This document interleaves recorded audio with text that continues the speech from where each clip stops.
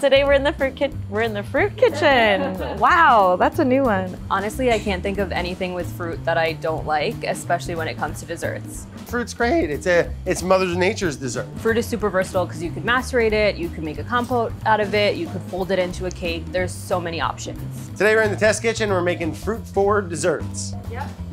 That's it. That's what we're doing. This is gonna be a dessert. Today we're working with cantaloupe, sugar, and evaporated milk.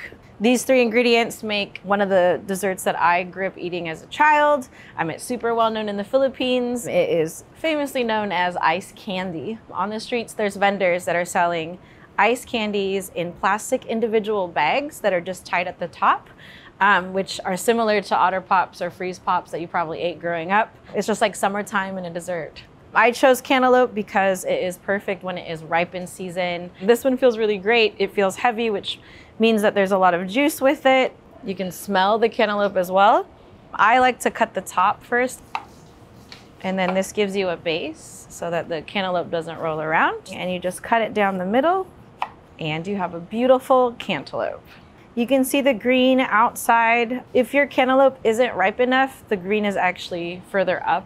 So once you've scooped out all the seeds and you peel off the layer of skin on the cantaloupe, um, I'm actually gonna cut the cantaloupe again, just so that it's easier for me to grate. And we're gonna grate. I want the cantaloupe obviously to be ripe, but I don't want it to be mushy. You still wanna be able to grate it on a grater.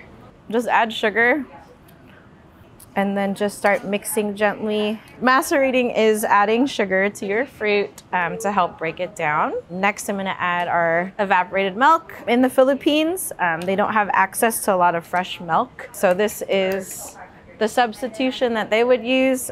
It's a little bit sweet. Um, it's definitely creamier, uh, more on the note of like a whole milk. I'm gonna add a little bit of water to help cut a little bit of the sweetness, but it's really up to you. Oh, that's so good. The sugar is melted in there so you don't have any like granules. The bags that I was talking about earlier look like this. So I'm just pouring this in. I'm making sure that I'm getting some of the cantaloupe in there. So you don't want to fill it up too full because you still want to be able to tie it. And the way to tie it is you just twist it. After you twist, you've got this much to tie your ice candy nice and tight. The best way to freeze them is to just put them on a sheet tray, line them up, just freeze them till they're solid, um, and then they're ready to go. This is our finished product of the ice candy. So there's two ways that you can eat your ice candy. Obviously you can snip with scissors off the top, or you can use your teeth, how we grew up eating. this is silly. Yeah, and then you just It's super just fresh. The cantaloupe tastes like cantaloupe in this. It's not masked by the other things that we've added. It's nice and cool. It's really refreshing. The texture is really icy, but it's still creamy from the evaporated milk. If you have other fruits as well, don't be afraid to get creative and make your own ice candies. So today I'll be transforming these wild blueberries into a beautiful sorbet. They are so juicy and so much sweeter than the store-bought cultivated berries that you can get. A lot of wild blueberries actually grow around my house, so I collect them in the summertime and try to freeze some so I can have access to delicious foraged juicy berries all year round. I'm actually using a food processor to churn the sorbet, um, which is a really nice hack for those of you that might not have an ice cream maker handy. So I've got this beautiful Tahitian vanilla bean here. It's kind of gives you that air of creaminess, even though there's no cream in it. If all you have at home is uh, vanilla extract, that's perfectly fine. However, I wanted to go a little extra. They're like floral in, in terms of the aromatics, which is really nice and I think plays into the freshness and the summertime feel of this dish. Oh yeah all of that. We're gonna get that into the food processor. I have Meyer lemons. I would say it's a little brighter but less acidic than your typical lemon and it's also a little bit sweeter. It's got more of a juicy punch which is really delicious. And not only is this adding like a nice acidity, it also just helps to break down the frozen blueberries a little bit. So now we're gonna add these wild blueberries to the processor and we're going to add some cane sugar. I'm also adding a pinch of salt I think that just brings the sweetness down a little bit and again creates more of a balanced atmosphere in this food processor. So we're gonna pulse this uh, until it all comes together. It should take about five to six minutes. So I'm looking for the texture to be really smooth, um, which it's not right now. It's actually quite chunky. So we're just gonna keep working this. It's just a matter of patience while that texture really develops into the consistency that we're looking for. Five hours later. Now we're now we're talking. That's the business right there. Okay. And at this point, I'm really just going to test it for consistency and see if it's somewhere that I like. It's very refreshing. Very. All right. Look at her. And I'm just spreading it evenly. Now we're just gonna cover this with a little plastic wrap over the top so that we don't get any like freezer burn or anything like that. So this is gonna go into the freezer and it'll set over the course of five to six hours, or you can just set it and forget it and eat it tomorrow morning. No crystallization as you can see. So we're gonna plate this up and get a nice scoop here. I'm adding a little poppy seeds over the top. Honestly, it just plates really nicely and it adds a little crunch factor. You always need the crunch factor and a little bit of fresh mint. All right, and here we have the perfect summer treat, the wild blueberry Meyer lemon sorbet. Mm, it's intensely blueberry, like blueberry is really shining here.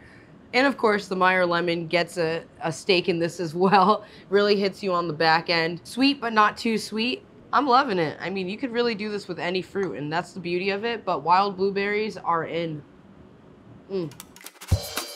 I always, I always tend to be drawn towards like a fruit dessert. And this is something that I kind of came up with, the classic half lobe of mango. Score it and then pop it out and eat it like, you know, like the whole world does. It's the best way to eat a mango. I was like, why don't I just try it with a little hot cast iron, a little olive oil, get a little sear on there, and then scrape it out and put it over some ice cream. It's just a really great way to kind of change the flavor profile of, of a classic fruit. So the fruit today we're gonna be using is the mango. I believe it's like the Atkins mango is the sign I see in the old supermarkets. I don't want it firm, but I don't want it super, super mushy because I want it to kind of get a little bit of a char to it.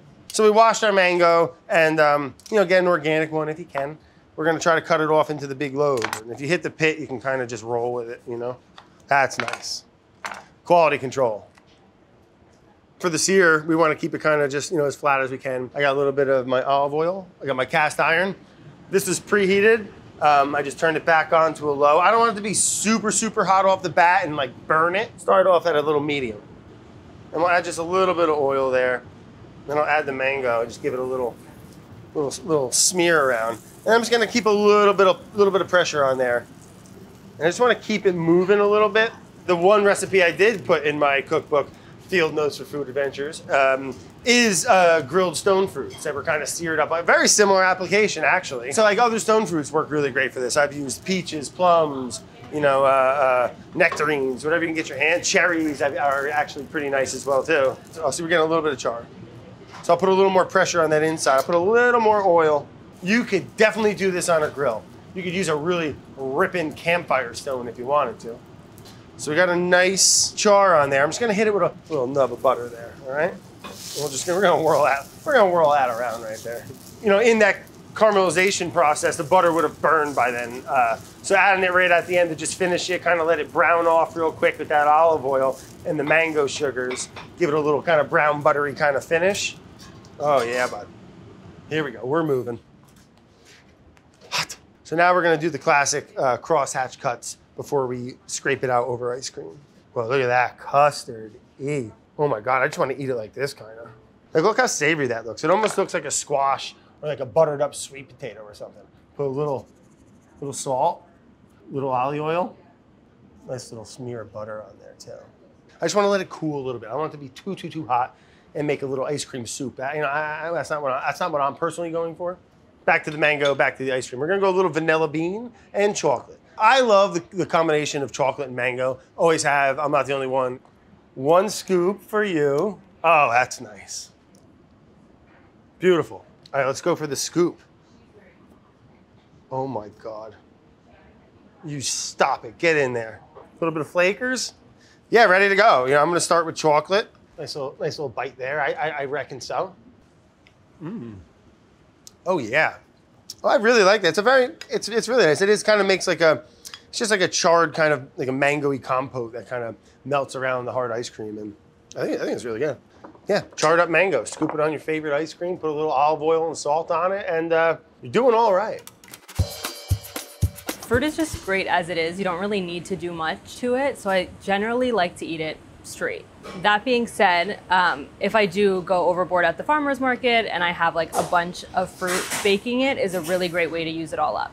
So I'm gonna use the raspberries to make a cake and then we're gonna put them over this lemon ricotta cake and you're gonna get this super plush, supple cake and these like this jammy swirl of berries going through it. It's so good. My wedding cake was a lemon raspberry cake because I just love it so much. This recipe is also really great because you can use any berry you like. Blueberries or even blackberries would be so delicious. So I'm starting with the berries so that I give them some time to macerate and release all their juices, but they're gonna go on the cake at the very end right before baking. I'm using a fork to combine the berries with the sugar just so that I like pierce them a little bit. You want to keep mixing until you see that the sugar is completely hydrated and like raspberry juice. Some of the berries are whole, some of them are a little bit more mushy. This is where you want to be. So now I'm to get started on the cake itself and work on the dry ingredients. So I have flour in the bowl and then I'm to go in with baking soda and baking powder for lift and then um, kosher salt just to balance out the sweetness. I'm gonna whisk this together just to disperse the leavener. So now we're gonna start with the wet ingredients. So I have sugar in a bowl and we're gonna start by perfuming the sugar um, with lemon zest. One lemon will usually give you about like a heaped tablespoon of zest. And I'm gonna use my fingertips to work the sugar and the lemon zest together. The abrasive quality of the sugar is gonna help extract the oils um, from the lemon zest all of the sugar in the bowl now is gonna like taste like lemon and it's gonna just carry that lemon flavor throughout the cake. Um, it really makes a difference in my opinion. You can see like a, like a pale yellow tint to the sugar. It feels a little bit more sandy than it did like straight. And so that's how I know I'm good. Now I'm gonna add the olive oil, the vanilla extract, and the eggs and whisk that up. Now I'm going to just cut that same lemon in half and juice it. So the ricotta is gonna add um, a little bit of fat, but it's mostly here for texture and flavor. Um, it's gonna give us a really unique crumb to the finished cake, less like a sponge cake and more moist and soft with like some good structure like say a pound cake. You definitely want to use whole milk ricotta. Don't like skimp on the fat here. Um, that is going to help with the texture of the cake too. Now I'm going to um, mix in the dry ingredients until they're nice and combined. You just want to make sure all the flour is hydrated. The ricotta is um, a little bit lumpy, so you don't need to get like a completely smooth batter. When the cake bakes, the ricotta is gonna melt into the cake. Um, you're not gonna see it, but it's fine if you see it now. Now I'm gonna pour the batter into a greased and lined um, nine inch cake tin. So it's been like five, 10 minutes and you can already see that the berries have released some juice. They're like looking syrupy. I'm gonna just spoon um, the berries over the top of the cake. You wanna sort of just get them everywhere.